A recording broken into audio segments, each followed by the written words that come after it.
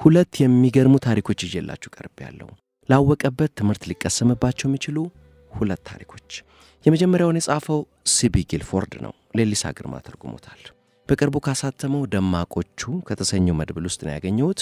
ሁለተኛዋ የአሌክስ አብርሃም ታሪክ ናት። ከዙቤዳ ውስጥ ነው ያገኘኋት። የመጀመሪያ ያደረግኩት የሲቢ ጊልፎርድ የውሽሜ መጨረሻን ይሆናል። የውሽሜ መጨረሻ፣ ደራሲ ሲቢ ጊልፎርድ፣ ትርጉም ሌሊሳ ግርማ። ሚስትና ውሽማዋ ሳሎን ቁጭ ብለው ባልየው እስኪመጣ በጸጥታ እየጠበቁ ናቸው። እሷ በጣም ውብ ናት። ጸጉሯ አብረቅራቂ ጥቁር፣ ቆዳዋ ለስላሳና ጥርት ያለ፣ ዐይኖቿ አረንጓዴና ጠበብ ብለው የሚያበሩ ናቸው። ያደረገችው ስስ የሌሊት ልብስ የሰውነቷን ክፍሎች ጥቆማ ይሰጣል። ውሽማው ግን ይህንን የሚያይበት ዐይን አልነበረውም። ቀጠን ያለ ሰውነትና ዐይኑ እንደ ጸጉሩ ቡና አይነት ቀለም ያለው ነው። ጸጉሩ ወርዝቶ ግንባሩ ላይ ተለጥፏል። ጃኬቱንና ከረባቱን ሶፋ ላይ ጥሎታል። በሸሚዙ ነው ተቀምጦ የሚጠብቀው። በቀኝ እጁ ጥቁር ነጥብ 32 አውቶማቲክ ካሊበር ሽጉጥ እንዳልተመቸው በሚያስታውቅ አኳኋን እያፍተለተለ ይዟል። ግድግዳ ላይ ያለችው ትንሿ የሩቅ ምስራቅ ሰዓት ጸጥታውን አደፈረሰችው። የደወል ድምፅ አሰማች። ሦስት ሰዓት ሆነ አለ ውሽምየው። አሁን መምጣት አልነበረበትም እንዴ? ቶኒ ፍቅሬ ብላ አስታወሰችው። አውሮፕላኑ እስከ ሁለት ሰዓት ተኩል አያርፍም። ከአውሮፕላን ጣቢያው እዚህ ድረስ ለመምጣት ደግሞ አንድ አርባ ደቂቃ ይፈጅበታል። ስለዚህ ተረጋጋ፣ ሽጉጡንም አስቀምጠው። ሳላስበው መጥቶ እንዲቀድመኝ አልፈልግም አለ ቶኒ። ሲመጣ ወደ መኝታ ቤት መግባት እንዳለብህ አትርሳ። ለማንኛውም አውቃለሁ አውቃለሁ አለ እሷን ላለማየት ምንጣፉ ላይ እያፈጠጠ። አልጋ ውስጥ ሆነን ፍቅር ስንሠራ እንዲይዘን ነው የሚፈለገው ቀጠለችና፣ በቃ አሁን የብሩስ መምጫ ደርሷል። ወደ መኝታ ክፍል እንግባና ዝግጁ እንሁን አለችው። በታዛዥነት ተከተላት። ድቅድቅ ጨለማ ለመሆን ምንም ባልቀረው ክፍል ውስጥ አልጋው ላይ ወጥታ ጋደም አለች። የተጋደመችው በክርኗ አልጋውን ተደግፋ ስለነበር የዳሌዋ ክብ ወጣ ብሏል። ቶኒ ግን ዞርም ብሎ አላያትም። ወንበሩ ጫፍ ላይ ተቀምጦ እጆቹን በጉልበቱ ላይ አስደግፎ ሽጉጡን ወደ መሬት አንከርፍፏል። ሽጉጡን ለመጠቀም ዝግጁ አትመስልም ብላ ወነጀለችው። አዎ አልተዘጋጀሁም ብሎ መለሰ። ሰው ገድዬ አላውቅማ። ማን ያውቃል ጠየቀች። ሰው ሰውን ዝም ብሎ በጭካኔ እንደማይገድል አውቃለሁ ፍቅሬ።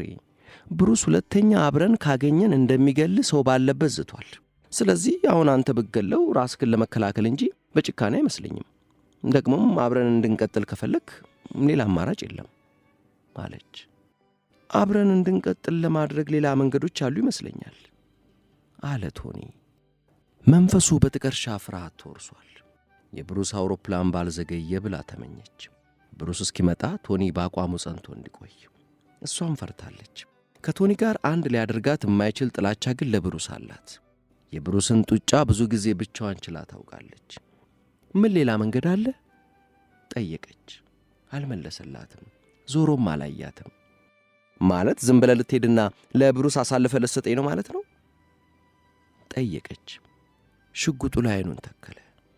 ቶኒ እንደዛ ማድረግ ነው ፍላጎትህ? አከለች። የጠረጴዛውን ሰዓት ተመለከተች። የብሩስ አውሮፕላን በጊዜ ከገባ አሁን ታክሲው እዛ እንደሚደርስ ገመተች። ቶኒ አደገኛ እንደሆነ አውቃለሁ። ጉዳዩ ትንሽ risk እንዳለው ይገባኛል። ግን ለፍቅራችን መሥዋዕትነት መክፈል አለብን። ብዙ ሰዎች ብሩስ ሲዝትብህ ሰምተዋል። ፍቃድ ያለው ሽጉጥ እንደሚይዝም ያውቃሉ። በየሄደበት መሳሪያውን ከሻንጣው እንደማይለየውም ይታወቃል። የነጥብ 32 አውቶማቲክ ካሊበሩን ደግሞ እሱ ሲሄድ እኔ ራሴን እንድጠብቅበት ሰጥቶኝ እንደሄደ ይታወቃል። ሰው ከተተኮሰበት መልሶ እንደሚተኩስ ደግሞ ሳይታለም የተፈታ ነገር ነው።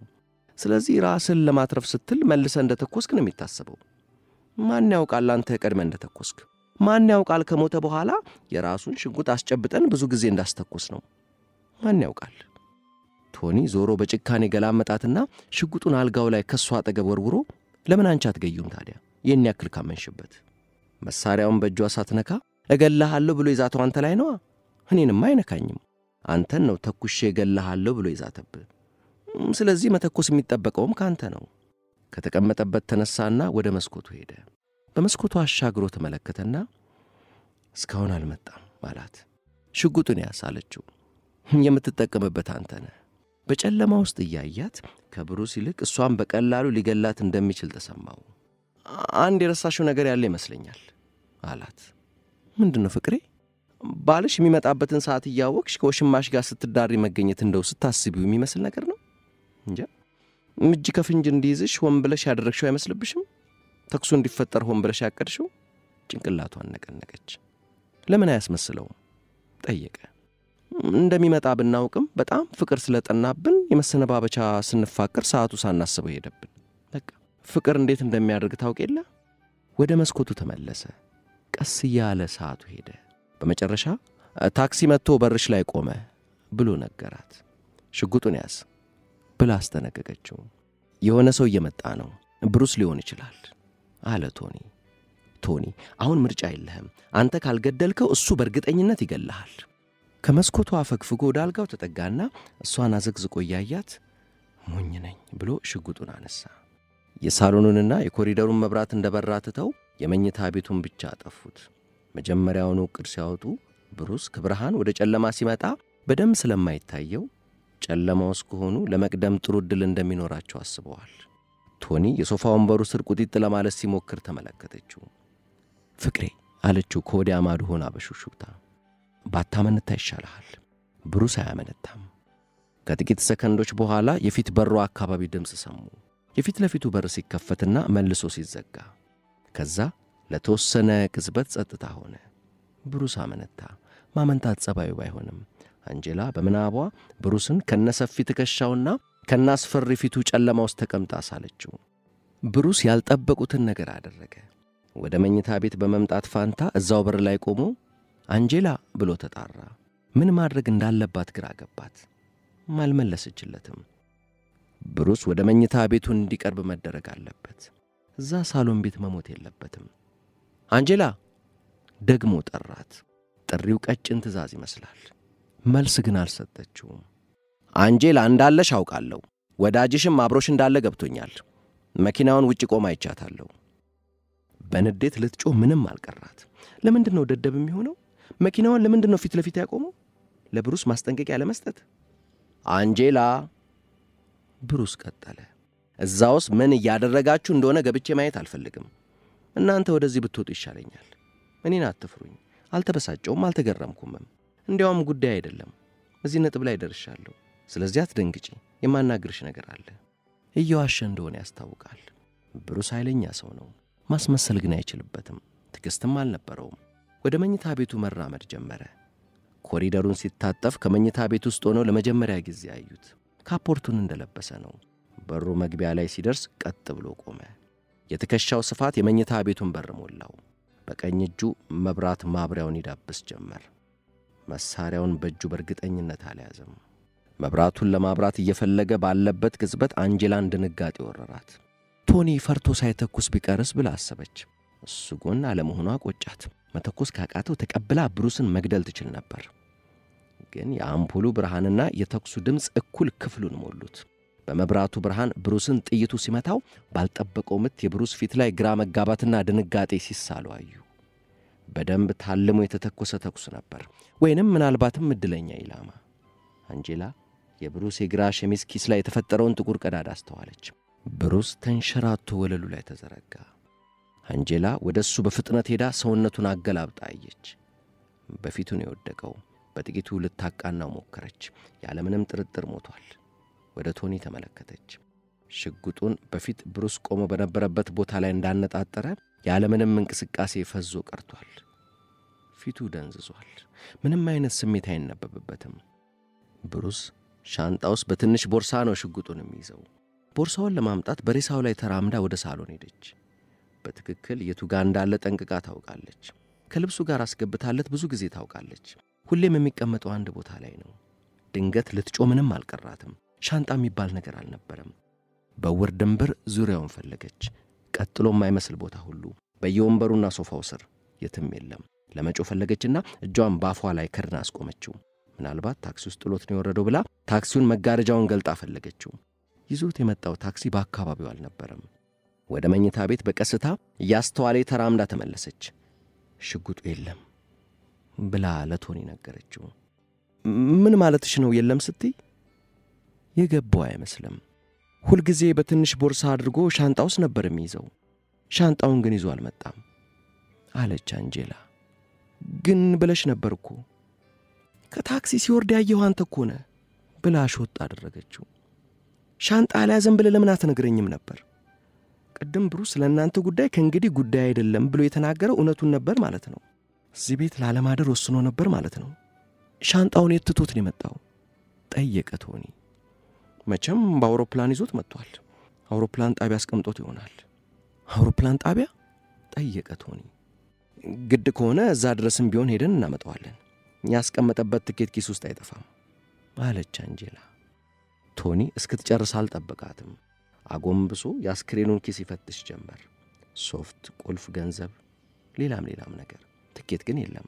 ቶኒ መሬት ላይ ቁጭ ብሎ በሚታይ ደረጃ ሰውነቱ እየተንቀጠቀጠበት ነው።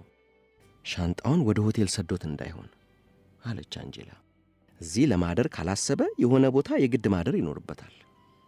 ቶኒ የሚለማመጥ ፊቱን ወደ እሷ አዙሮ ሄደን እናምጣዋ ብሎ ጀመረ። የት እንደሆነ ሳናውቅ እንዴት ነው የምናመጣው ብላ አመናጨቀችው። ለንደን ይሁን ፓሪስ ይሁን ሳናውቅ ብናውቅም የቱ ሆቴል እንደሆነ በምን እናውቃለን? ሰው በራሱ አገር ላይ ደግሞ ሆቴል አይቀመጥም። ተፋጠጡ። ዐይናቸውስ ምንም ፍቅር ወይም መፈላለግ የለም። የተጣመረው ዐይናቸው ፍርሃት ብቻ ነው የሚነበብበት። ከእርስ በርሳቸው ይልቅ ወደ ውስጣቸው ነበር የሚመለከቱት። ወደ ውጭ ድሮ በፍቅር ወደ ወደቁበት ሰው አልነበረም የሚያዩት። ቶኒ በላ አብርሷል። ሸሚዙ በጠቅላላ ረጥቧል። በዛ ላይ በኃይል እየተንቀጠቀጠ ነው። ምን ይሻለናል የሚል የማላዘን ድምፅ ነው ያወጣው። የማቃሰት የተገረፈ ውሻ ሲያለቅስ የሚያወጣው አይነት ድምፅ። አንጄላ ብሩስን ከሞተበት ቀስቅሳ አልወድህም ትመታኝ የነበረ ቢሆንም ግን ቢያንስ አንተ ወንድ ነበርክ። አሁን እኔ ወንድ እንዲያጽናናኝ እፈልጋለሁ የማለት ፍላጎት መጣባት። አንጄላ ብሎ ቶኒ ተነፋረቀ። እባክሽ መላ ፈልጊ። አስጠላት። ራሱን መቆጣጠር አይችልም። በዛ ላይ አንጎል የለውም። ጣጣውን በሙሉ ለእሷ ማሸከም ነው የሚፈልገው። የአንጄላ አንጎል ግን አንድ መፍትሔ ዘየደ። ብሩስ በሽጉጥ ባይሆንስ ሊገል የፈለገው አለች በድንገት። በሌላ ነገርስ ቢሆን ጥቃት የሰነዘረብህ ለምሳሌ በምን? በባዶ እጁ አለችው በመራርነት። ብሩስ በጉልበት ካንተ ሁለት እጥፍ ይበልጣል። ስለዚህ ያለ መሳሪያ እንዲሁ ጨምቆ ሊገል ይችላል። ንግግሯ ማንቋሸሽን የጨመረ ቢሆንም ለእሱ ግድ አልሰጠውም። ደብድቦ ሊገለኝ እንደነበር ማስመሰል ይቻላል። ለምን አንችልም? ከእኔ ጋር ሲያገኝ ደብድቦ ሊገል ይችል ነበር። አንተ ግን እንደምንም ሽጉጥ አንስተ ገደልከው። ስለዚህ እዚህ ክፍል ውስጥ ኃይለኛ ትግል እንደተደረገ የክፍሉን ዕቃ መሰባበር አለብን። ትእዛዝ ሰጥታ ሳትጨርስ ክፍሉን መመነቃቀር ጀመረ። ሁሉንም እሱ እንዲያደርገው ተወችለት። በመኝታ ክፍል ውስጥ እንደ አበደ የጥፋት አውሬ ዕቃውን መገለባበጥ ጀመረ። የራስጌ መብራቶቹን አንስቶ መሬት ላይ ጣላቸው። የመልበሻ ጠረጴዛው ላይ ያሉትን ዕቃዎች አራገፈ። መጋረጃውን ገነጣጠለ። ወንበሮቹንም ገለባበጣቸው። እንደዚህ ነው ብሎ እንደ ሕፃን ልጅ አስተያየቷን ጠበቀ። በቀዝቃዛ ዓይኗ ስሌት እየሠራች ስታየው ከቆየች በኋላ የደረሰው ጥፋት በቂ እንዳልሆነ ተሰማት። ስለዚህ ብሩስ ክፍሉን ሲያተራምስ፣ አንተ ላይ ግን ምንም ጭረት ሳያደርስብህ ቀረ ማለት ነው። በመጀመሪያ ባለመረዳት፣ ቀጥሎ ግራ በመጋባት በመጨረሻ ደግሞ ባለማመን አፍጦ አያት። ብሩስ እኮ ማጥቃት የፈለገው አንተን እንጂ መኝታ ክፍሉን አይደለም። ታዲያ እንዴት እናርግ? አለ ቶኒ። እሱ ተገትሮ ሳለ አልፋው ሄዳ መሬት ከወደቁት የራስጌ መብራቶች አንዱን አነሳች። ቶኒን ለመምታት ትቃጣ ጀመር። ተይ አለ። ተይ እንጂ አርፈ ቁምና ተመታ፣ አለዚያ የሞት ቅጣት ነው የሚደርስብህ። ምቱን አናቱ ላይ ለማሳረፍ ተዘጋጀች። ለጥቂት ሰከንድ ቆሞ በመመታትና በመሸወድ መሃል ቆሞ አመነታ። ዱላው ልክ ሊያርፍበት ሲል አንድ እጁን አንስቶ ትንሽ ተከላከለ። የመብራቱ ቂጥ ጉንጩን ጋጠው። ወደ ግድግዳው ተንገዳግዶ እንዲደገፍ አደረገው። እዛው ተደግፎ ቆመ። አዙሮት ካፉ የደም እንጥብጣቢ መውጣት ጀመረ። የመታችበትን ዕቃ መሬት ላይ ጥላ ምን ያክል እንደ ጎዳችው ቀርባ ተመለከተች። ፖሊሶች ያምናሉ። አንድ ምት ብቻ፣ አንድ ቆርኪ ያክል እንኳ ደም ሳይፈስ ለምን ተከላከልክ ስመታ ብላ ጮኸችበት። እንዴ ልትገይን ትችይ ነበር እኮ ብሎ አለቀሰ። ለተሰማው ሕመም ምንም አላዘነችለትም። በቂ አይደለም። የእውነት ሊገልህ እንደነበር ማስመሰል አለብህ። ትሰማኛለህ? የራስጌ መብራት ለነፍስ የሚያሰጋ መሳሪያ አይደለም። በአስክሬኑ ላይ ያለምንም ማመንታት ተሻግራ ከመኝታ ክፍል ወጣች። ወደ ማድ ቤቱ ሮጠች። የቢላ መደርደሪያውን አሰሰች። ትልቁን ቢላ መርጣ ወደ መኝታ ቤት ተመለሰች። ቶኒ የያዘችውን ሲመለከት አንዳች ዛቻ ጮኾ አሰማ። ተደግፎ ከቆመበት ግድግዳ አልተንቀሳቀሰም። ዐይኑን ቢላው ላይ ተክሎ ተሸማቀቀ። ብሩስ በዚህ ሊገድልህ በእርግጠኝነት ይችላል አለችው። ቢላን ማንም ሊጠረጥር አይችልም። እንዴ በሱ ምን ልታደርጊ? መድማት አለብህ አንተ ደደብ አለችው። መድማት አለብህ። ቀስ ብላ በዓላማ ተጠጋችው። እጅ እንደማይሰጥ ገባት። የራስጌ መብራቱን እንደሸወደው ሊሸውድ እንደሚችል ስለጠረጠረች እንዳያመልጣት መንገድ ዘጋችበት። አሁን በጣም አሳማኝ ይሆናል ብላ አሰበች። አንተ ፈሪ ብላ ሸነቆጠችው። አንተ ማትረባ ፈሪ ቢላዋውን ሰነዘረችበት። ለማምለጥና እጇን ለመያዝና በዛውም ወደ ጎን ዞር ለማለት ሲሞክር ቢላዋው ከክርኑ በታይ ተሰካ። ሕመሙ ተሰምቶት እጁን ሲያወናጭፍ ስለቱ ከክንዱ እስከ ትከሻው ቀደደው። ቢላዋው ከእጇ ሲወድቅ አላነሳችውም። ያደረሰችውን ጉዳት ተመለከተች። ቶኒም እንደ እሷ አፍጥጦ እጁን ያያል። ቁስሉ የጠለቀ ባይሆንም ደም እንደ ልቡ እየፈሰሰ ነው። አሁን ይሻላል አለች። በቀስታ ዐይኑን ከቁስሉ ላይ አንስቶ እሷ ላይ ተከለ። ደስ አለሽ አይደል ብሎ ጠየቃት። አዎ እንኳን ደስ ያለሽ። ዐይኑ ላይ የሚታየው እብደት ድምፁ ላይ ይሰማል። ለምን እኔ ብቻ ግን ቅጣቱን እቀበላለሁ? ለምን ብሩስ እኔም ብቻ ያጠቃል? ምክንያቱም አንተን ነዋ እገልሃለሁ ብሎ ይዛተው አለች ቀልጠፍ ብላ ጭንቅላቱን እየነቀነቀ ግን መጥቶ አብሮ ሲያገኘን ተበሳጨና እኔም ብቻ ማስጠንቀቁን ረስቶት ቅጣቱን ወደ አንቺም አዞረው ብንልስ? ለመጀመሪያ ጊዜ አዲሱ ዓላማው ገባት። ብሩስ እኔን ለመጉዳት ፈጽሞ አይሞክርም ብሎ አሸች። ግን ይህንን የነፍስ ግድያ አብረን እንደምንጋራው አትርሺ። እኔ ቃታውን ብስብም አንቺም የነፍስ ግድያው ተባባሪ ነሽ። እኔ ብቻ አይደለም። አሁን ሁሉንም እኩል መጋራት አለብን። ቢላዋውን ከወደቀበት ሄዶ አነሳው። እረፍ ብላ ጮኸች። ትክክል እንዲመስል እኮ ነው አይሻልም? እያለ ተጠጋት። ምን ልታደርግ ነው? መድማት አለብሽ አለ እሷን ቋንቋ ተጠቅሞ። የምታመልጥበት አልነበራትም። በበሩና በእሷ መሃል ቆመ። ቢላዋው በእጁ ነው። አነሳው። አያረገውም ብላ ገመተች። ቆንጆ ገላዋን ስለሚወድ አያበላሸውም። ቶኒ ታው፣ ቁስሉን እኩል እንካፈላለን አላት። በአንድ እጁ እንዳትንቀሳቀስ ወደ ግድግዳው ገፍቶ ይዞ በሰውነቱ ደፈጠጣት።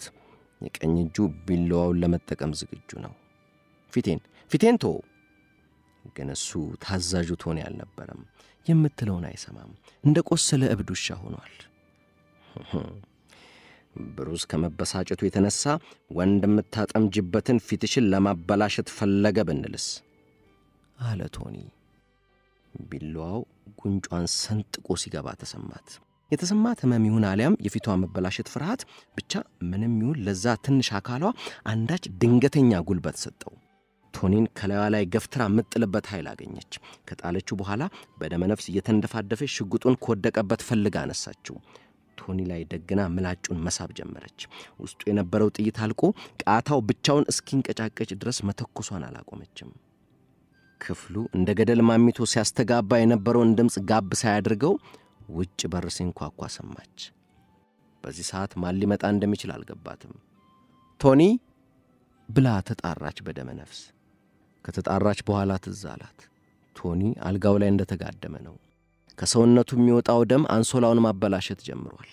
ከአንሶላውም እየወረደ በአልጋው ቁልቁል ይንጠባጠባል። እንዴት አድርጌ ነው ማስረዳው ብላ አሰበች። ምንም ነገር እንዳያናጥባት ትኩረቷን ሰብስባ መፍትሔ ትፈልግ ጀመር። ከሁለት አስክሬኖች ጋር ብቻዋን በራሷ ዓለም ውስጥ ናት። አስቢ፣ በትኩረት አስቢ አንጄላ። ፊቴ፣ ወይኔ ፊቴ። ቆይ ስለ ፊትሽ አሁን እርሺው፣ ግን ስለ እሱም ማስረዳት አለብኝ ለካ።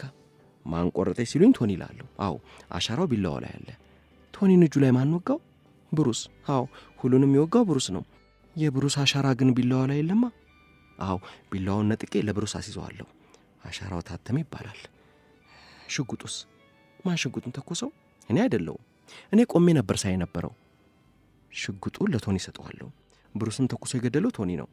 ግን ቶኒንስ ማን ገደለው? የማንን አሻራ ሽጉጡ ላይ ላድርግ? ጥያቄው ተወሳሰበባት።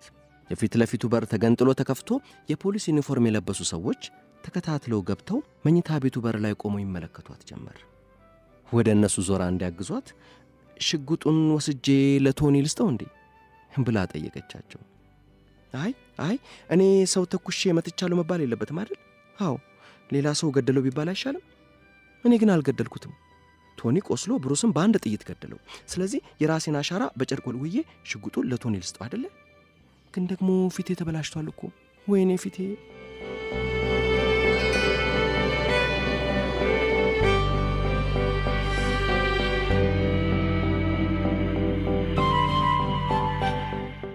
ሊሆን ይችላል። ከአሌክስ አብርሃም። ለሚስቴ ያለኝ ፍቅር ከዕለት ዕለት እየጨመረ ነው የሚሄደው። ችግሩ ፍቅሩ የሚጨምረው ብቻውን አልነበረም፣ እግር እጅ ከሌለው ቅናት ጋር እንጂ። በእኔ ውስጥ ፍቅርና ቅናት እንደ መንትያ ልጆች እኩል ነበር የሚያድጉት። እየቆየ ግን የፍቅር አቅም እየኮሰመነ የቅናቴ ጡንቻ እየፈረጠመ ሄደና ቅናቴ እንደ ምርቃት ቆብ ከነመነሳንሱ በፍቅሬ አናት ላይ በኩራት ጉብ አለ። አያድርስ ነው መቼም። እርኩሳዊ ቅናት የሰይጣን አንዱ ሥራ ሳይሆን ሰይጣን ራሱ ሳይሆን አይቀርም። ሚስቴ መዓዛ ጨዋነቷን አገር ይመሰክርላታል። ግን ምን ዋጋ አለው? የእኔ የባሏ ሆድ ግልጽ ባልሆነ ምክንያት ሻክሯል። ምን ስታደርግ አይታ አትቀና ብባል መልስ የለኝም። ግን እቀናለሁ። ስቀና አበሳጭባታለሁ። አንዳንዴ እንደውም ከመሬት ተነስቼ ሁለት ሦስት ቀን አኮርፋታለሁ። ግራ ይገባታል። አንዲት ጠባብ ክፍል ውስጥ እየኖርን ስዘጋት የምታደርገውን ነገር ታጣለች። ደስ ይለኛል። ያኔ ጭንቀቷ ነፍሴን ያረካታል። አንዳች የመበቀል እርካታ ይሰማኛል። ከንፈሯ እየተንቀጠቀጠና ቀይ ጉንጯ በርበሬ መስሎ ግራ ተጋብታ ስመለከታት በኩራት ኩፍስ ብዬ በስቃው አዝናናለሁ። ብዙ ጊዜ በተለይ ወንዶች በፍቅረኝነት እያሉ ቅናት ያጠቃቸዋል። ያፈቀሯትን ሲያገቡ ግን በቁጥጥራቸው ስር የዋለች መስሎ ስለሚሰማቸው አይቀኑም ሲባል ነበር የሰማሁት። የእኔ ቅናት ግን የተገላቢጦች ነው። በፍቅረኝነት እንደነበርን የሚሆን የተጋባን ሰሞን አልቀናም ነበር። ለዛም ሳይሆን አይቀርም መዓዛን ብዙም ትኩረት ሰጥቼ የት ገባች የት ወጣችም አልለው። የኋላ ኋላ ግን ቅናት ከኔ ልጅ ልጁ ሰፈረብኝ። የቅናት ትልቁ ችግር የሚቀኑበት ሰው እንደሚያስቡት መሆን አለመሆኑ ላይ አይደለም። የሚቀናውን ሰው ራሱን በበታችነት ስሜት አጥለቅልቆ ያልሆነውን ማድረጉ እንጂ። መዓዛ ፊልም እየተመለከተች አንዱን የፊልም ተዋናይ ካደነቀች በቃ የጨጓራ ሕመሜ ይነሳል። በቃ ስለምቀና አገር ያወቀው ፀሐይ የሞቀውን ጎበዝ የፊልም ተዋናይ ማጣጣል እጀምራለሁ። መዓዛ ከተከራከረችኝማ በቃ ሰውነቴ ሁሉ በብስጭት ይንገበገባል። እቀናለሁ። ቅጥል ነው ምለው። ምን አባቱ ሴታ ሴት ካሜራ ፊት ጀግና ይመስላል ደግሞ ልክስክስ። እዚህ ካሳንቺስ መጠጥ ቤት ለመጠጥ ቤት፣ ጫት ቤት ለጫት ቤት ሲዞር አይደል እንዴ የሚውለው። እሱ ያልተኛቸው ሴተኛ አዳሪዎች የሉም። ኧረ አብርሽ በእግዚአብሔር የተከበረ ባለትዳርና የሁለት ልጆች አባት ነው ትላለች ማዕዚ። አንቺ ስለ እሱ ስታጣሪ ነው የምትዩ? ምን ታውቂያለሽ? እኔማ ምን አውቃለሁ፣ ራሱ ነው በቲቪ ከነ ሚስቱ ቀርበው interview ሲሰጥ ያየሁት ትላለች ጩኸት ያስደንግጧት። እና በቴሌቪዥን ቀርቦ እጠጣለሁ፣ እቅማለሁ፣ ሴት አይተርፈኝም ይበል እልና ማዕዚ ላይ ያፈጥባታለሁ። ማዕዚ በግርምት እየተመለከተችኝ ዝም ትላለች። ፊልም በተከፈተ ቁጥር ማዕዚ የምታደንቀውን ሰው ስዘልፍና ሳጣጥል ፊልሙን በቅጡ ሳናየው ስለሚያልፍ ማዕዚ ቀስ በቀስ ማድነቋን አቆመች። እኔ ግን መቅናቴን አላቆምኩም። አንድ ወንድ ተዋናይ በተናገረው ነገር ከሳቀች ወይም በመደነቅ ራሷን ከነቀነቀች በቃ ቅናቴ ያስለፈልፈኛል። እነዚህ የጠላ ቤትና የጫት ቤት ቀልድ እያመጡ ይቀባጥራሉ። የኢትዮጵያ ፊልም እንዲህ የዱርዬ መናኸሪያ ሆኖ ይቅር። ምን የፊልም ኢንዱስትሪ ነው? የዱርዬ የሥራ ፈት ኢንዱስትሪ ቢሉት ይሻላል። ይሄ ባህሬ ሲያስመረራት ማዕዚ ከእኔ ጋር ፊልም ማየት አቆመች። በፊት ፊልም ሲከፈት ተንደርድራ መታ ጎኔ ትቀመጥና ራሷን ትከሻዬ ላይ ዘንበል አድርጋ ነበር የምትመለከተው። የሚያስቅ ነገር ስትመለከት አንገቴ ስር ገብታ ፍርፍር ብላ ትስቅ ነበር። ዕድሜ ለቅናቴ ይኸው ፊልም ከእኔ ጋር ማየት አቆመችና አረፈችው። ፊልም ሲከፈት ወይ ጓዳ ገብታ ትንጎዳጎዳለች፣ ወይም መኝታ ቤት ትገባና ትተኛለች፣ ወይም ታነባለች። ፊልም አታይም እንዴ እላታለሁ። አይቼዋለሁ። የት አየሽው? ባለፈው እማዬ ጋ የሄድኩ ጊዜ እማዬ ቴሌቪዥናቸው ተበላሽ አላልሽም? ሌላ ገዛች። ማገዛላቸው ኧረ አብርሽ በእግዚአብሔር አታጨናንቀኝ ትልና በምሬት ታየኛለች። በቃ እናቷ ቤት አይደለም ያየችው ማለት ነው። የሆነ ወንድ ጋር ትከሻው ላይ ራሷን ጣል አርጋ በየመሃሉ እየተሳሳሙም ሊሆን ይችላል። አዎ ሊሆን ይችላል። በቃ እንደዛ ነው ያየችው። ልክስክስ ዊ ሴቶች እብሰለሰላለሁ። ትከሻውን የተደገፈችው ወንድ ማን ይሆን? ምናልባትም አብረው ተኝተው ሊሆን ይችላል። እንዴ አብራ ፊልም ለማየት ያልተመለሰች። እሺ፣ ለእናቷ ማን ቴሌቪዥን ሊገዛላችሁ ይችላል? ይኸው ታሪኩ ሲገጣጠም መዓዛ ሀብታም ወንድ ጋር ሄደች። ቤቱ ሄደው ፊልም አብረው አዩ። ሶፋ ላይ አብረው ተቀምጠው ጫሟን አውልቃ የሚያማምሩ እግሮቿን ሶፋው ላይ ሰብሰብ አድርጋ አስቀምጣ ልክ እንደ ቤቷ ዘና ብላ ከዛ አብረው መኝታ ቤት። ኧረ ሶፋውን ማን ይዞባቸው? ከዛ ነፍሳቸው መለስ ሲላወሯ ፊልም ትወጃለሽ እንዴ እኔ ቆንጆ ሊላት ይችላል። አይ አይ እንደዛ አይደለም የእኔ ማር ነው የሚላት። በጣም ትለዋለች ደረቱ ላይ ተለጥፋ። እቺ መዥገር፣ ሁለቱም መዥገር ናቸው እንጂ እሷም እሱ ላይ እሱም ትዳሬ ላይ የተጣበቁ መዥገሮች እና በየቀኑ ትመለከቻለሻ ይላታል። በፊት ነበር፣ አሁን ግን ባሌ እየተነዛነዘ ቤት በኩል ሊያሳየኝ ብለ። ኦ ባልሽ ግን ምን አይነት ደደብ ቅል ራስ ነው ባክሽ! ሙቪ እያያችሁ ይነዛነዛል። አሜዚንግ! በጣም ምን ቅል ብቻ ድንጋይ ባልጩት ራስ ነገር ነው እንጂ ሲገባ ሲወጣ መነዛነዝ ብቻ፣ እንዳልተሳካለት ተዋናይ ያየውን ተዋናይ ሁሉ መዝለፍ ብቻ ትለዋለች። ይሁና እሷን ባፈቀርኩ ቤቴን ትዳሬን ባልኩ የማንም ዱርዬ ጋር ስታማኝ አያበሳጭም። ውስጤ ይብከነከናል፣ ላብላብ ይለኛል። በላብ የጨቀየ መዳፌን በል ጨብጬ ሶፋውን በቡጥ ይነርተዋለሁ። መዓዛ በድንጋጤ ከራማዋ ተገፎ እያማተቤ ትቀርበኝና ጭንቀት በወረረው ፊቷ እንባ በቋጠሩ ዐይኖቿ እየተመለከተችኝ ምን ነው ፍቅር፣ ምን ሆንክ? ከሰው ጋር ትጣላህ እንዴ? ላብ ላብ ሆንክ እኮ አመመህ እንዴ? እኔ ፍቅር ጉንጬ ላይ እጇን ልታሳርፍ ስትልክ እጇን ወደዛሽ ቀንጥሬ ተነስቼ ወደ መኝታ ቤት ገባና የቁም ቅዠቴን ተኝቼ እቀጥላለሁ። እሷም ግራ በመጋባት ወገቧን ይዛ መኝታ ቤት በር ላይ ቆማ ትቆያለች። ምን ዕዳ ገባሁ እያለች እቀናለሁ፣ እቀናለሁ፣ በጣም እቀናለሁ። አንዳንዴማ በሕልሜ ሁሉ ስለምቃዥ መዓዛ ጸበል እንሂድ ትለኛለች። ቢመቻት እብድ ነው ብላ አማኑኤል አሳስራኝ ዓለሟን ከሌላ ወንድ ጋር ልትቀጭ እንዳሰበች እጠረጥራለሁ። ተገኝቶ ነው አሁን ሌላ ወንድ ጋር ብትሄድ ሰውም አያስቀምጣትም። እስኪ ምን አጣች? ጥጋብ እንጂ ልክስክስነት እንጂ ቱ ይህን የመሰለ ሸበላ የጠገበ ደሞዝ የሚበላ ባልትታ ወይ ጥጋብ ይላታል። ካበድኩላት ግን እንዳሻት ትዘላለች፣ ሰውም አይቃወማትም። ምን ታድርግ እንዴ? ከእብድ ጋር ትኑር እንዴ? ወጣት ናት፣ ቆንጆ ናት፣ ስንት ነገር ያምራታል። ምን በወጣት ሊሉ ይችላሉ። እኔ ደግሞ ልልኳ አላብድ ሲያምራት ይቀር። ሌላ ቀን ደግሞ ደማቅ ሰማያዊ ሹራብ በቢጫ ሱሪ ለብሼ ልወጣ ስል ኧረ አብርሽ አብሮ አይሄድም ሱሪውን ቀይሮ የኔ ቆንጆ ፊትህ ጥቁር ቢሆን እንኳ ያምርብ ነበር፣ ከአንተ ጋር ግን አይሄድም ብላ በሳቅ ፍርስ አለች። ቆይ እሷ ስለ ወንድ አለባበስ እንዴት አወቀች? ይህ ስለ ልብስ ቀለም ሳይሆን ስለ እኔ ምርጫ ለማወቅ ለመናገር ሆን ብላ የተናገረችው መሆን አለበት። እንዳልሰማ ሰው ትቻት ወጣው። እዛ ላስቀመጠችው ለእናቷ ቴሌቪዥን ለሚገዛው ደደቡ ሽማዋ ትንገር። ምናልባት ጥቁር ሊሆን ይችላል። ትቻት ወጣው። ለምን እንደሆነ እንጃ እንደማላከብራት ማሳየት ፈልጋለሁ። በር ላይ አንድ የማልወደው ጎረቤቴ ደረቱን ገልብጦ በጠዋቱ በፓካውትና በቁምጣ ኮንዶሚኒየሙ ደረጃ ላይ ያገኘሁት። እኔ ስወርድ እሱ ሲወጣ ነበር የተገናኘ ነው። በእጁ የመዝለያ ገመድ ይዟል። ከስፖርት እየተመለሰ ነው። ሰላም አብርሽ አለኝ በፈገግታ። ሰላም ሰለሞን ብዬው ላልፍ ስል ምን ነው ይህ አለባበስ ትንሽ አልደመቀም አለና ፈገግ አለ። ቀልዶ ሞቷል። ለዛ ቢስ ለካፊውላ እንዳልሰማው አለፍኩት። ጣሳ ራስ እሱ ስለ እኔ አለባበስ ምን አገባው? ይሄ ቦዘኔ ጎረቤቴ ሥራው ምን እንደሆነ እንጃለት። ሥራ እንኳን ያለው አይመስለኝም። ሁልጊዜ የምንጋራው በረንዳ ላይ ወንበር ያወጣና ዝሆን የያዘው የሚመስል ፈርጣማ ይሉታል አንዳንዶቹ፣ ጠብደል ግንዲላ እግሩን ዘርግቶ ጋዜጣ ያነባል። ኑሮ ዘና ያለ ነው። አንዳንዴ ውድ የሆነ ሙሉ ልብሱን ይለብስና ዴክስ መኪናውን አስነስቶ ይሄዳል። አፍታ ሳይቆይ ይመለሳል። ቤቱ ውስጥ የቀበረው ነገር ሳይኖር አይቀርም። ከቤቱ ርቆ አይሄድም። ይዞት ይሄድና ቆይ ግን ቤት እየዋለ እንዲህ ተዝናንቶ የሚውልበትን ገንዘብ ከየት አባቱ ነው የሚያመጣው? ሌባ ይሆን እንዴ? ወይንስ ቅጥር ነፍሰ ገዳይ? ድንገት አንድ ሐሳብ አእምሮዬ ፈነዳና ቀጥ ብዬ ቆምኩ፣ ፉጭጭጭ እንደ መኪና። አቋቋሜ ድንገተኛ ስለነበር ከኋላ የነበረችው ልጅ ልትጋጨ ለትንሽ ተረፈች። ቆይ ጎረቤቴ ቤት ሲውል ምን እያደረገ ይውላል? መደዳውን አራት ቤቶች አሉ። ጥግ ላይ የኔ ቤት። መዓዛ ሥራ ስለሌላት ቤት ነው የምትውለው። ቀጥሎ ሁልጊዜ ዝግ የሆነው እንደኔው ከርታታ ጎረቤቴ field ነው ሥራው። ቤቱ ሁልጊዜ ዝግ ነው።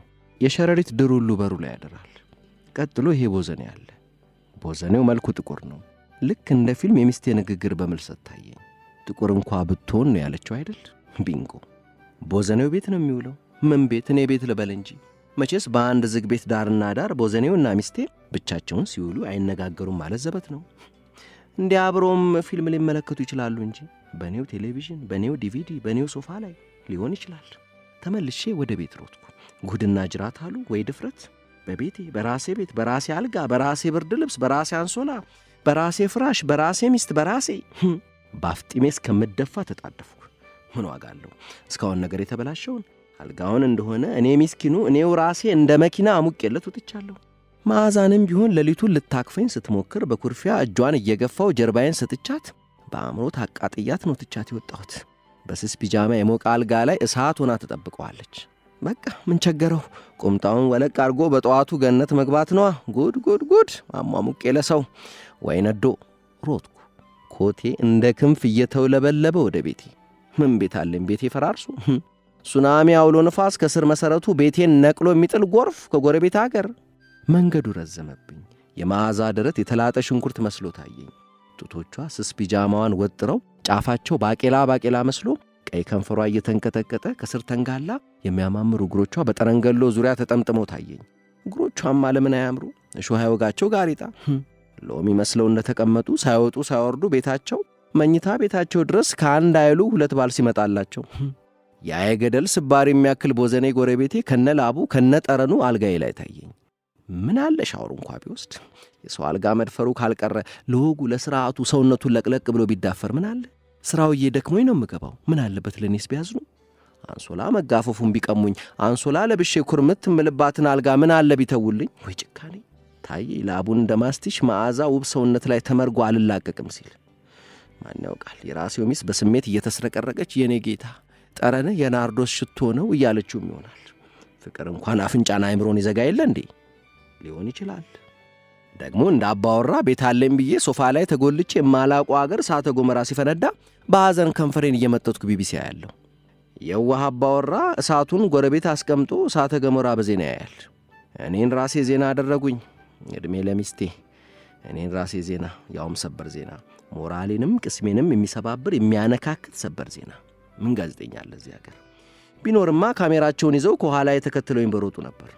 ዝም ብለው ስለ ግድብ ያውሩ እንጂ እዚህ ስንት ሚሊዮን ሜጋዋት እሳት ከመኝታ ቤቴ ሲመነጭ መቼ በቁም ነገር ተመለከቱት? ቤቴ ስደርስ በሩ ብርግድ ብሏል። ጊዜው ድፍረት! ምን አለ በሩን እንኳ መለስ ገርበብ ቢያደርጉት። ሰው ባያፍሩ ንፋስ እንኳ ያፍሩ። ወይስ የመኝታ ቤቱን በር ቆልፈው ሊሆን ይችላል። በተከፈተው በር ተወርውሬ ስገባ መዓዛ አብረሽ ድረስ ብላ በእጇ የያዘችውን የዱቄት ሳሙና በቁሙ አለቀቀችው። በአትለኝም ደርሼ ነበር እኔማ። ዱቄት መስሎ ሳሎኑ ምንጣፍ ላይ ተዘራ። ራቅ ብሎ ሊታጠብ የተዘጋጀ የኔው የቆሸሸ ልብስ ተከምሯል። በዚህ ሌሊት ልብሴን ልታጥብ እየተዘጋጀች ነበር መዓዛ። የኀፍረቴን ወደ መኝታ ቤት ገብቼ ኮሜዲኖውን ከፈትኩና የረሳሁትን ዕቃ የወሰድኩ መስዬ ተመልሼ ወደ ሥራ የሮጥኩ። ትንሽ ኀፍረት ቢሰማኝም አእምሮዬ ውስጥ ግን አንድ ሐሳብ መጣብኝ። መዓዛ ልብስ አጥባ ካሰጣጣች በኋላ እስከሚደርቅ ግን ምንድን ነው የምትሠራው? በተሰጣው ልብስ ውስጥ ጠረንገሎ ጎረቤቴ እየተሽሎኮለከ ወደ ቤቴ ሲገባ በሩ ሲዘጋ ታየኝ። ሊሆን ይችላል። ከሰዓት ከምሠራበት አየር መንገድ ቢሮዬ ሆኜ ለመዓዛ ስልክ ደወልኩላት። አንዴ ጠራ። ሁለት፣ ሦስት፣ አራት፣ አምስት። የደወሉላቸው ደንበኛ ስልክ አይመልስም። እባኮ ይላል። ወይ እባኮ ምኑን ተከበርኩት? ምኑን ለአንቱ ታበቃሁት? ኮት መልበስ ብቻውን አንቱ ያስብል ቢሮ ያማረ ወንበር ላይ መጎለት አንቶ ያስብል። ጓዳዬ እየፈረሰ ቤቴ እየተገረሰሰ ሦስት ጉልቻ ያልኩት ትዳሬ ስድስት ጉልቻ እየሆነ ወይ አንቱታ። ስልኩ ያለው ሳሎን፣ ሚስቴ እስካሁን መኝታ ቤት ወይም ጠረንገሎ ጎረቤቴ ቤት ትሆናለች። ማን ያንሳው ስልኩን? ዘመድ እንደሌለው ሐዘንተኛ ብቻውን ያልቅስ እንጂ ብቻውን ስልኩን። ስብሰከሰክ ስልክ የጠራ መዓዛ ነበረች። የት ሄደች ነው ስልኩ ይህን ያህል ሲጠራ? ልብስ ሳጥብዬ አሁን ገና ጨረስኩና ሻወር ገብቼ እኮ ነው ከነ ሳሙና የራቁቴን እኮ ነው አሁን የቆምኩት። ፍቅር ብታይን ሳስቅ። ማን አለ ማን አለ የት አለች በግርምትና ግራ በመጋባት ያመለጠኝን ጥያቄ አልደገምኩትም። መዓዛም ከዛ በኋላ አላነሳችውም። ቅናቴ ሲጨምር ልፍስፍስና በራሴ የማልተማመን ሰው ሆንኩ። በፊት በቀላሉ መሠራውን ነገር ሁሉ መሥራት አልቻልኩም። ቅናት አቅም ያሳጣል። አንድ የማይረባ ነገር ላይ ብቻ በማተኮር በዙሪያችን ያሉ መልካም ነገሮችን ሁሉ ይጋርድብናል። አንድ ቀን ከማዕዚ ጋር ሻይ ቡና እንበል ብለን ወጣንና አምሽተን ስንመለስ እኔ ይዤው የነበረው የቤት ቁልፍ ጠፋ። ውጭ ቆመን አማራጭ መፈለግ ጀመር። እኔ ሰብረን እንግባ ስል ማዕዚ ሳይመሽና ታክሲ ሳናጣ እናቷ ቤት ሄደን እንድናድር ሐሳብ አቀረበች። ልሰማት አልፈለግኩም። ቁልፉን ለመስበር መታገል ጀመርኩ። ታች አንደኛ ፎቅ ካሉ ጎረታች ቤት ለኮንዶሚኒየም የታች ጎረቤት የሰጠው ስም ነው ላይ ያሉትን ጎረላይ ቤት ጎንያው ሰው የለም እንጂ ጎረቤት ይሆን ነበር እና ከጎረታች ቤት ቢላዋ፣ ፒንሳ፣ መፍቻ ተውሼ የመጣውና መታገል ጀመርኩ። ወይ ፍንክች! ማዕዚ ረዥም ጫማ ስላደረገችና walk እያደረግን ስለመጣን መቆም ደክሟት የለበሰችውም አጭር ቀሚስ ስለነበር ብርድ እያንሰፈሰፋት ከጎኔ ትንቆራጠጣለች። አንድ ሰዓት የሚሆን ታግዬ ለአበላቦኜና እጄ ደም አርግዞ ያተረፍኩት ነገር ቢኖር በሩ ሊከፈት እንደማይችል ማረጋገጥ ነበር። በቃ አይከፈትም አልኳት። ነግሬ ነበር እኮ ፍቅር፣ በቃ ማማ ጋር እንሄድ አለችኝ እየተቻኮለች። በዚህች ቅጽበት የጠረንገሎ ጎረቤቴ በር ተከፈተ። በሩ ሲከፈት በበሩ ስፋት ልክ የብርሃን ምንጣፍ በሩ ፊት ለፊት ያለው በረንዳ ላይ ተነጠፈ። ጠረንገሎ የደረቱንና የእጆቹን ጡንቻ ጉልቶ የሚያሳይ ጉርድ ቲሸርት ከቁምጣ ጋር ለብሶ ብቅ አለ። የብርሃን ምንጣፉ ላይ ቆሞ ወደ እኛ የታደረገና ደህና አመሻችሁ አብርሽ አለ። እሱን ሳይ እልሄ ከየት መጣ ሳልለው ክንብል አለብኝ። ለሰላምታው መልስ ሳልሰጥ ኮቴን አውልቄ ያዥ አልኳትና ቢላዋውን አንስቼ ቁልፉን መጎርጎር ጀመርኩ።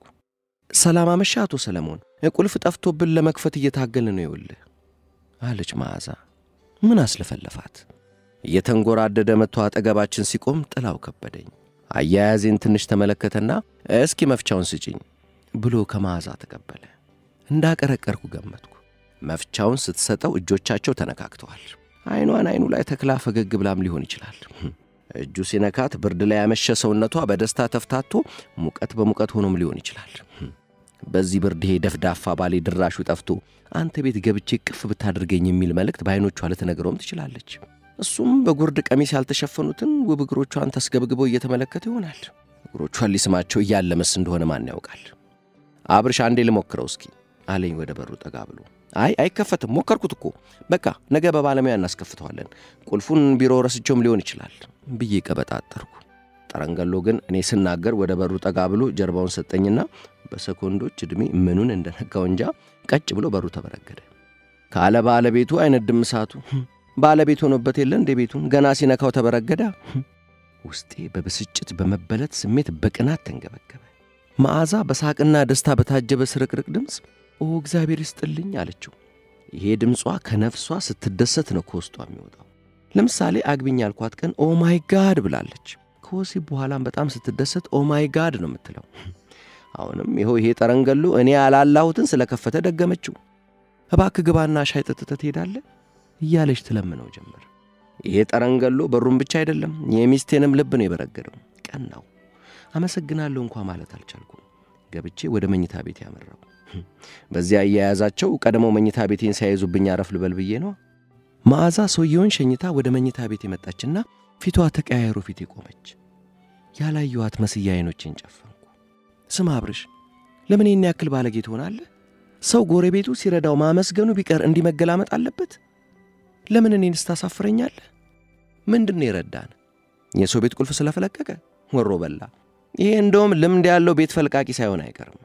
ኧረ በእግዚአብሔር አብሪ፣ ስርዓት ይኑርህ። ስርዓት አንቺ ነው የምታስተምሪኝ? መጀመሪያ ራሲ ስርዓት ይኑርሽ።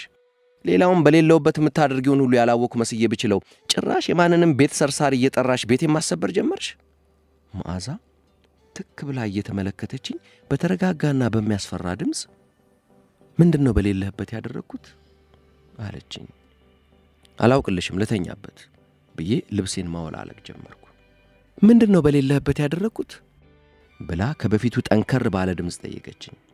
ቁልፍ ሰባሪ ጓደኛሽን ሂጂና ጠይቂው አልኳት በልህ።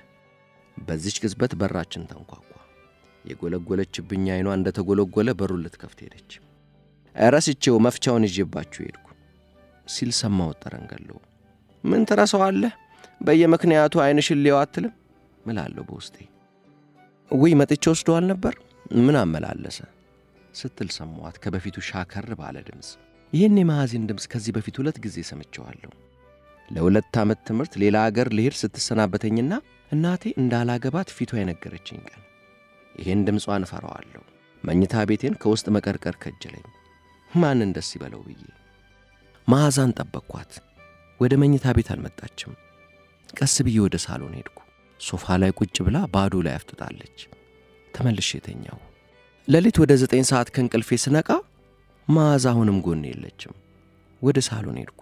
ማታ እንዳየዋት ከነ ልብሷ ከነ ጫማዋ ሶፋ ላይ ቁጭ ብላ ባዶ ላይ አፍጥጣለች። ተመልሼ የተኛው ጠዋት ተነስቼ ወደ ሳሎን ሄድኩ። መዓዛ የተተኮሰ ልብስ ቁርስ አላዘጋጀችልኝም። እዛው ቦታ በዛው ሁኔታ ተቀምጣ እንቅልፍ ወስዷታል። እንደተኛች ወጣው። ምን ቢያኮርፍ ጾሙን ያድራል አሉ። ጠረንገሎ መኪና ማቆሚያው አካባቢ ገመድ ይዘላል። ቁንጣን ያዘልለውና ማታ ወደ ቤት ስመለስ መዓዛ ቤቱን ትታልኝ ሄዳለች። አሁን ቅናት ሙሉ ሆነች። ማሰብ ጀመርኩ። ሻንጣዋን ይዛ ስትሄድ የሆነ ባለመኪና አገኛት። ቆንጆ ወዴት ነው ልሸኝሽ? ይላታል። ትገባለች። እያለቀሴ ታሪኳን ትነግረዋለች። አቅፎ ያባብላታል። አዎ እንዲህ ነው የሚሆነው። መዓዛ ንጹሕ አፍቃሪ መሆኗን ባውቅም ሁለት ሰው የሆንኩ እስኪመስለኝ አእምሮዬ የቅናት ቅዠቱን ሊያቆምልኝ አልቻለም። ልቤ ግን ይገስጸኛል። ልቤን ገደል ግባ ስለው ነው ድሮም ራሴ ገደል የገባሁት። መዓዛ አልተመለሰችም። እናቷ ቤት የለችም። ጓደኛም ከኔ ውጭ አልነበራትምና ማን ጋር እጅ ልጠይቅ? ሌላ ሰው አግብታ ይሆን እንዴ? ምናልባት ከኔ ጋር እያለች ይገናኙ የነበረ ሀብታም ሊሆን ይችላል። ከሦስት ዓመታት መለያየት በኋላ አየር መንገድ ሥራ ላይ ያለው ከሳውዲ ታፍሶ ከተባረሩ ኢትዮጵያውያን ስም ዝርዝር መካከል የመዓዛንም ስም ተመለከትኩት። ከሌላ ሴት ጋር ፍቅር ጀምሬ ነበርና ከዚህ በላይ ስለ መዓዛ ማሰብ አልፈለግኩም። ግን እቻ አዲሷ ፍቅረኛዬ ዛሬ እንዴት ሳትደውል ቀረች? ያ በጸሐፊነት የሚያሰራት አስቀያሚ ሀብታም ጋር ሊሆን ይችላል።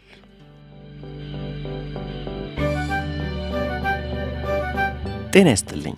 ታሪኮቹ እንዴት አገኛችኋቸው? ከወደዳችኋቸው ለጓደኛ ለምትወዱት ለወዳጅ ዘመድ ማጋራቱን አትርሱ። ወደ ቻናሌም ጎራ ብላችሁ ሌሎች ትረካዎችንም እንድታዳምጡ ጋብዛለሁ። ሰላም